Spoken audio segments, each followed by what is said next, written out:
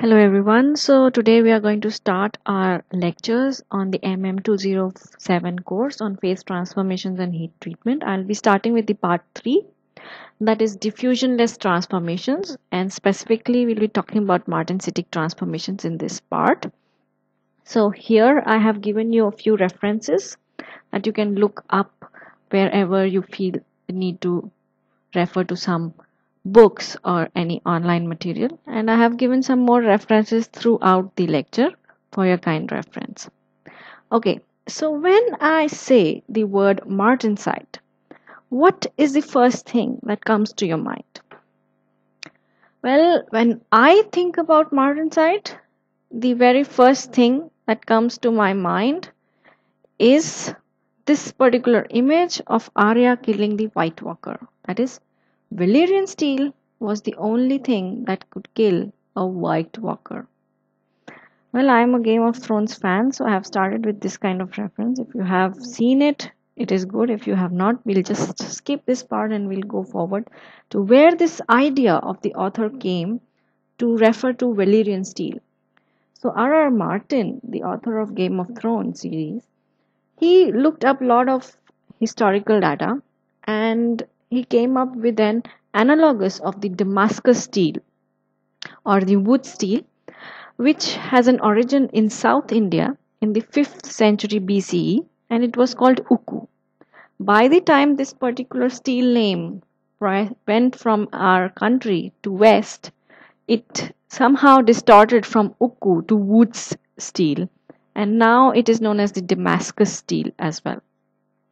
So if you look on this particular knife image, you can see these very beautiful flowing images of uh, the microstructure. And this is what gave this steel uh, this kind of name, Damascus and wootz steel. So this uh, steel was made of 1.2% carbon and it was known like 5, 5th century BCE and some say even before that. So the good thing of this steel was that it was strong, it was sharp, and it was relatively less brittle. And there are stories and stories about how this steel could cut the feather in two halves without even having a slight trimming area. So it is very beautiful stories. If you read uh, these references that I have given you here, you can uh, look into the detail how this Damascus steel is produced and how it was taken up by different people and how researchers eventually came up uh, with the research from different samples that it was not only in India this steel was made and used actually it was exported from India to the Persian countries Egypt and Greece because we can find a certain kind of uh, remnants which show that ancient Greece and Egypt people and they had they used these kind of knives for carvings made by such kind of blades. And the researchers have looked uh, at different kind of microstructure their compositional uh, things of these kind of damascus steels and their knives. And uh, some of these have also found to have carbon nanotubes. And uh, some also say that earliest man-made carbon nanotubes were known 2500 years before even the first uh, uh, carbon nanotube was known uh, to the west so there was a very big myth attached to this particular wootz steel uh, that uh, when the swordsmen the smiths the blacksmiths used to make this kind of steel they used to heat the steel to a higher temperature and then then they used to put the steel directly quench it in the blood of a very very healthy slave. So the all the strength of the slave would go into the steel but today we metallurgists know that this is not true and even if we don't use a person a real person we just use oil or water to quench our steel, we will get martensite. If we cool it down from the austenitic temperature very fast. And that is the story behind this kind of steel. As I said, it was strong, sharp, but it was relatively less brittle because it was tempered after the martensite was formed and they used to beat it to higher temperatures and they used to make these kind of steels. And it is a high carbon steel as I already told you. It is 1.2% carbon a little more than that as well. And the first carbon unit nanotubes were also shown by researchers in such kind of samples so if you want to look it up you can look up these two references and uh, it's not always that it was a martensitic kind of uh, uh, structure that was formed because it was all hit and trial when people were doing it. So sometimes it is also pearlitic matrix in a high carbon steel that also gives certain kind of different patterns on this steel. So I have been speaking about a lot of steel. So when I say steel, I am talking about the iron-iron carbide phase diagrams. So why are these iron-iron carbide phase diagrams so important that you're sitting in? It's uh, construction was made with steel. If you see around yourself, if you see some bottle caps, they are made of steel. These days, a lot of steel bottles are coming into commercial use, water bottles. Then you see these knobs, your keys. Most of these things around you are made up of steel. Furthermore, no other alloy system has been studied in such detail as this particular iron iron carbide system. Why is it so? Because from going from Bronze Age to Iron Age brought about industrial revolution. And researchers have been intrigued by the solid state phase changes in steel, which are varied and very, very interesting. And these systems can eventually be applied to other alloy systems as well. So iron carbide actually gives a lot of understanding of other solid state transformations as well. So let's look up our particular iron, iron carbide phase diagram. This is the iron carbon phase diagram that I'm sure every one of you has seen many times. So if you see this region from 0 to around 2%, this is the region where we talk about steels. Usually, the steels that we use, majority of them are less than 1%. So we are talking about this particular region here. And and steels in the region of 0.2 here to around 0.3 are the ones that are used as structural steels in buildings, bridges and in ships. Steels greater than 1% are used but not so much they are used in razor blades, cutlery, etc. for sharp areas. And above this 2.1% to around 6.7%, these are all cast irons.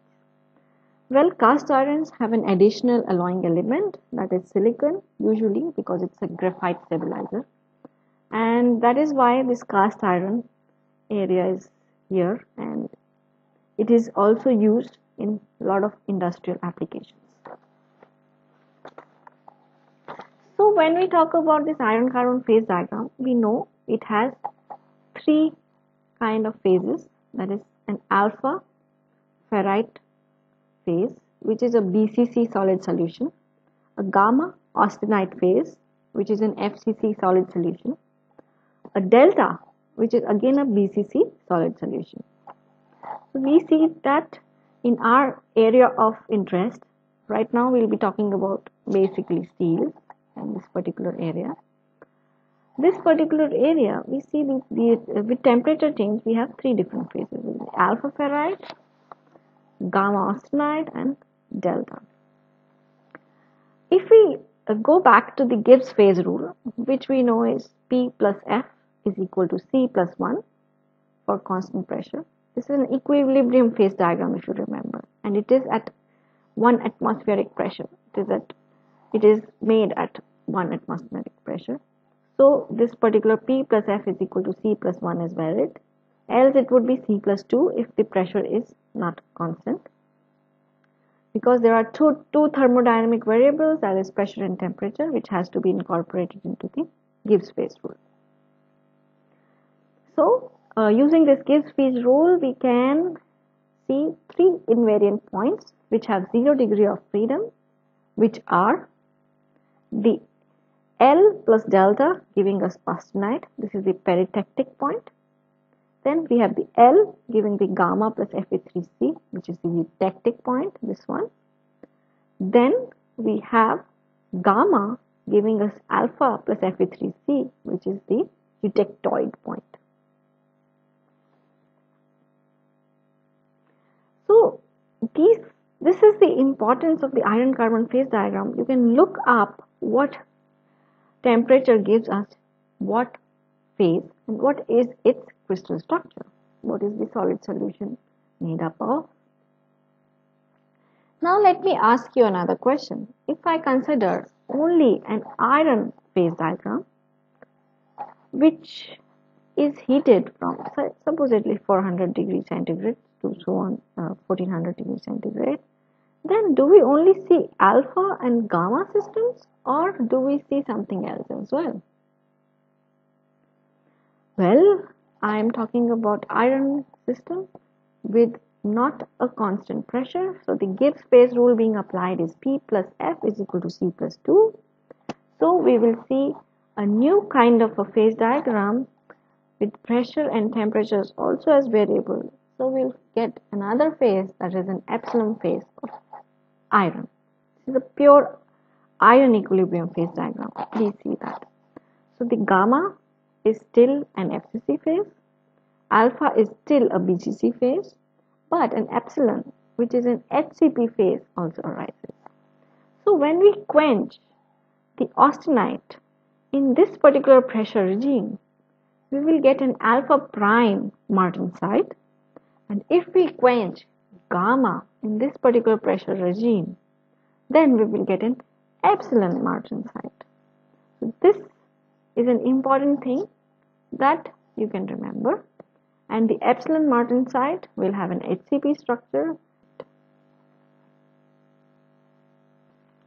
Now let's talk about phase transformations. So what are phase transformations? What phase transformations do you know already? So I'm sure everyone has looked up at such a diagram. That is, you know, liquid can convert, liquid phase can convert into a gas phase by the method of evaporation and a gas phase can convert into a liquid phase by the method of condensation. Similarly, a liquid phase can convert into solid phase by solidification and a solid phase can convert into a liquid by melting.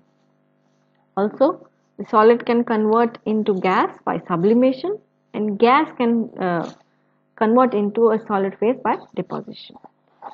In addition to these kind of varied uh, phase transformation, you can also have a solid-solid transformations in which one solid converts into an another solid. So when we look at this iron carbon phase diagram and when we are looking at a gamma austenite converting to martensite or gamma converting into pearlite, then we are looking at a solid-solid phase transformations. So these can be categorized further into diffusion or diffusionless. Certain transformations they require diffusion and certain transformations are diffusionless. In the part 2 you have seen precipitation, spinodal decomposition all which are civilian transformations and they require diffusion to happen. And in this part 3, we'll be talking about modern martensitic transformations, which are military uh, transformations. These are called military transformations because they take place in the military manner. That is, these transformations take place through atomic movements which are less than one atomic spacing. And these transformations atoms change their position in a coordinated manner, unlike the civilian ones, which are random. So, can you give me an example of diffusion and diffusion left kind of transformations?